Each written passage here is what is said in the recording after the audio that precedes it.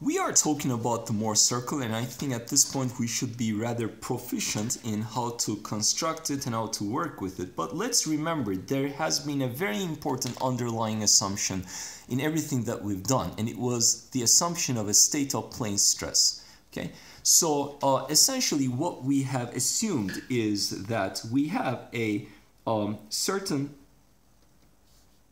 choice of a coordinate system, let's say x and y, and there is here a out of plane direction, which is the z direction.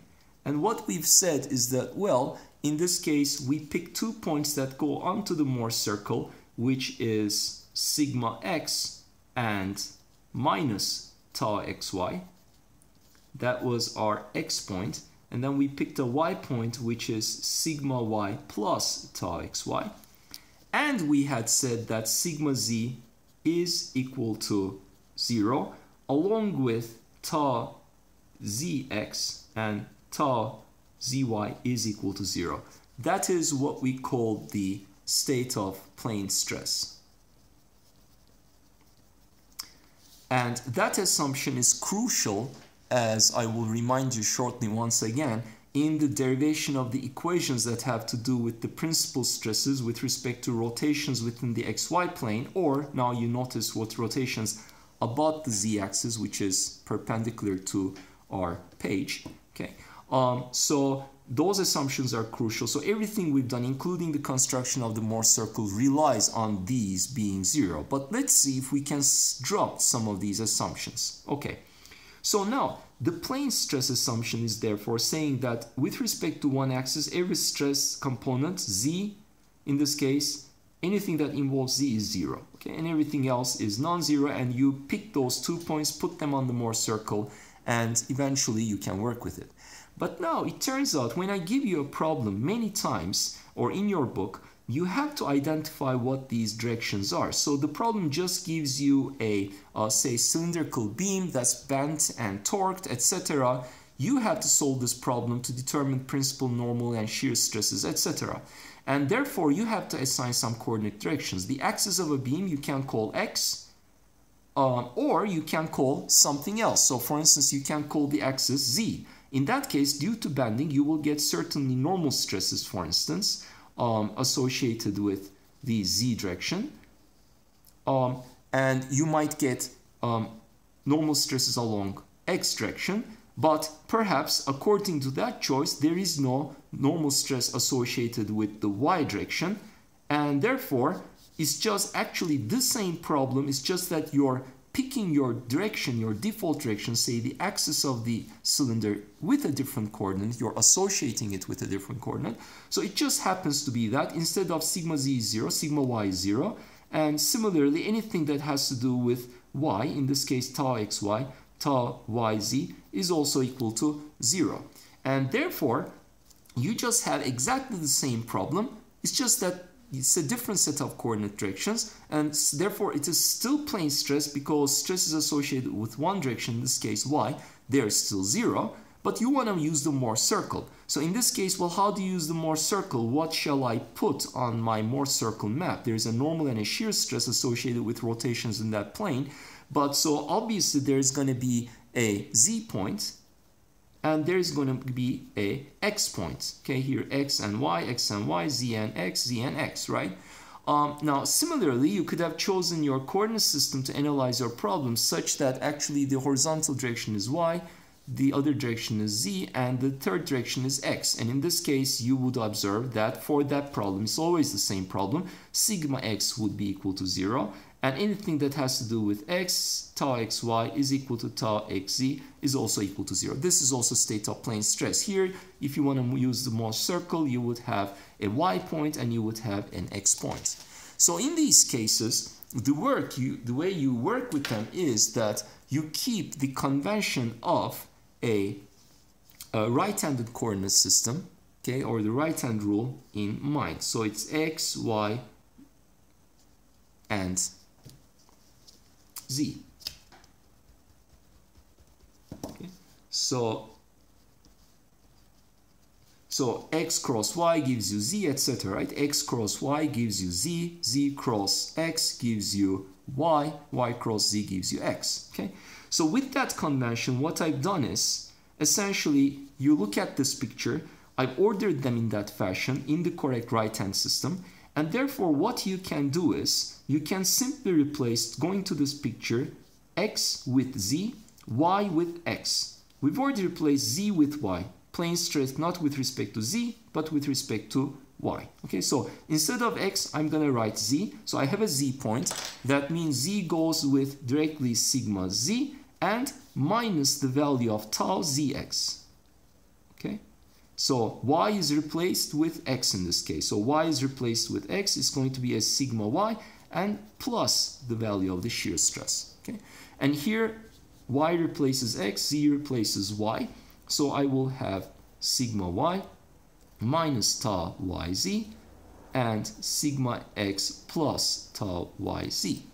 And now if you would like to ask the question, well, suppose I rotate um, a coordinate system to a different direction, say to z prime and x prime, okay, or to say y prime and z prime, just like we asked the question, well, what's the rotation to x prime, y prime?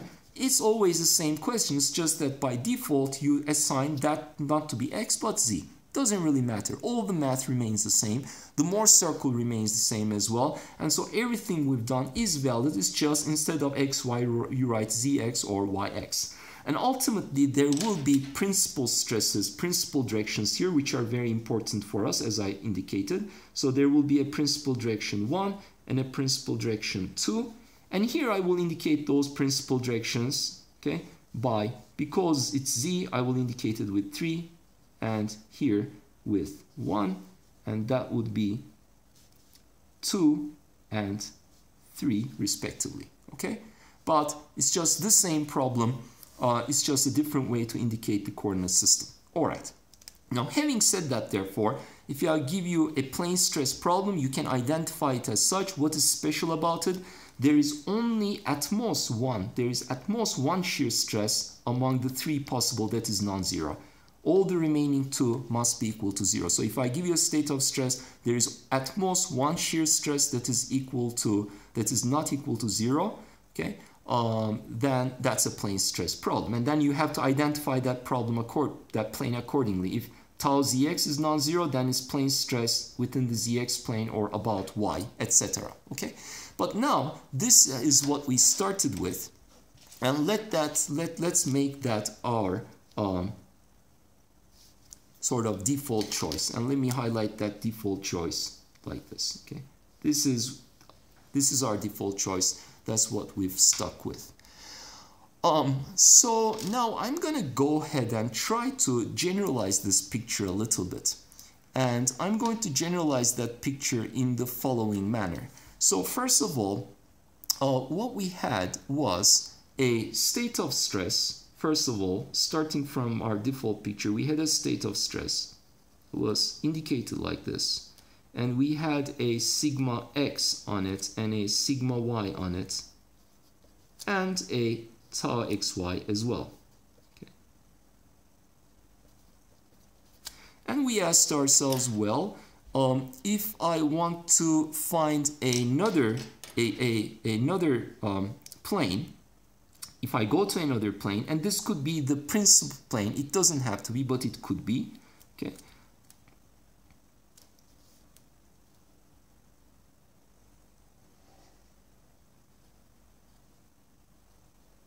So if I go to another orientation, and now the difference of that orientation from the original one is that this one had orientation xy, this one has orientation x prime, y prime. Okay, and what I'd like to do is I'd like to find the new values of the principal stresses, of the normal stresses, I'm sorry, it doesn't have to be the principal direction, okay, and the shear stress.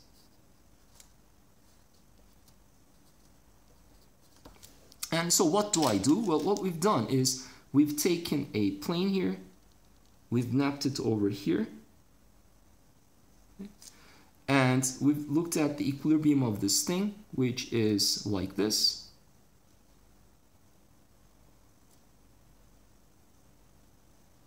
And so there is here a normal stress, sigma prime x, let's say. There is here a shear stress, which is tau xy prime. And here I have along x sigma x, along y sigma y, and of course tau xy. And I do sum of the forces along the x direction is zero. Um, then sum of the forces along the y direction likewise equal to zero. and I can determine x prime and y prime. Great. Well, now let me complicate this picture by hopefully not messing up the equation, the, the picture a lot. I'm going to throw in a third dimension, and that third dimension is going to be the z direction.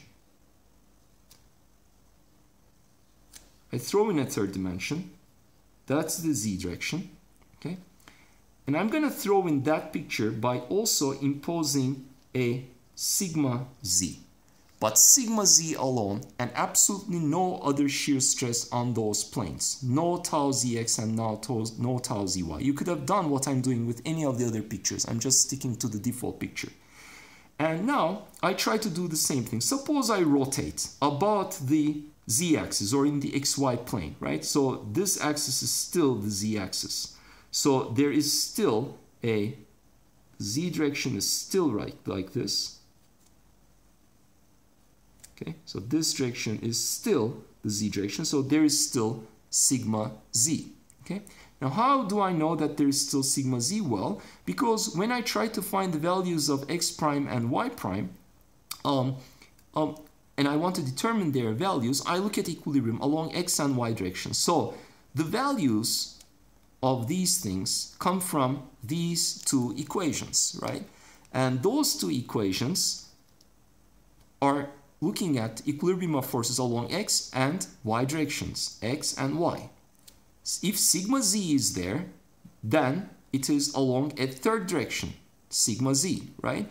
So it's along a third direction. It makes absolutely no contribution to these force equilibrium force balances. And therefore, whatever result that I have deduced regarding the values of these for a given amount of rotation, theta, with respect within the xy plane or about the z-axis, right?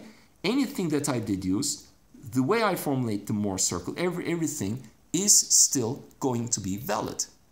Uh, because sigma z is making no contribution to equilibrium of forces along x and y. Notice that if instead of sigma z or in, in addition to sigma z, I had imposed a tau zx, it's on the plane with normal z in the direction x. As soon as I put a shear stress along the x direction on the z-plane at tau zx, then the sum of the forces along that direction will be influenced by it. And likewise, if I put a tau zy, this one will be influenced by it. As I make rotations, the values I get come from these equilibrium equations, and those equilibrium equations are indicate are influenced by the shear stresses. So the values I would get would be influenced also by those shear stresses, and everything I've done would go to uh, the trash bin because they are now, they should now be different, right? But that's not the case if there is only sigma z because it's in an absolutely other new, um, new direction, right? So therefore, we conclude that if you generalize the state of plane stress by adding a normal stress only, then everything we've done is valid to a large extent. Now, some things we have to be careful about, but everything it seems is valid uh, so far. So that state of stress we call a generalized state of plane stress. Generalized plane stress, which means that these are still zero, still, but this doesn't need to occur. And likewise, if you work with that picture, these are still required, but this doesn't need to hold, and likewise over here, okay? So that is what a state of generalized plane stress means. And that is the implication okay as an implication of the way we derived the principal stress equations. And we applied them or converted them to the Mohr circle, principles we've used uh, indicate that everything is valid for the state of generalized plane stress as well. Notice that a state of plane stress is a state of generalized plane stress from the uh, outset. Okay, so plane stress is a state of generalized, let's say, plane stress is a state of plane stress with just that third possible direction equal to zero. But a state of plane stress is not a state of um, generalized plane stress. Um, well, or I think I said it the first time correctly. State of plane stress is a state of generalized plane stress. Uh, you just set sigma z to be zero. Okay, if it's if sigma z is zero, it's a state of plane stress. But a state of generalized plane stress is not a state of plane stress because um, for that to happen, you have to have the third stress, uh, the third value of the uh, stress equal to zero. Okay, so we have to keep that in mind. Generalized plane stress is not a plane stress state, but plane stress state is a special case of generalized plane stress with the third value of the stress being equal to zero. So now finally notice that, interestingly, we could go to a very special plane, which is actually the plane that's associated with the state of principal directions, okay? So I could have gone from this, not to that direction, but to a very special direction, which is associated with the principal directions. Let's draw them like this.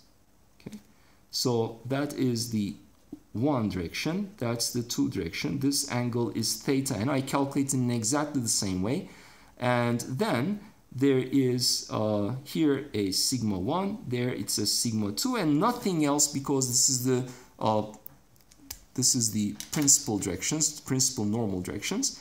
And now there is a third dimension here that we are not drawing, right? Okay.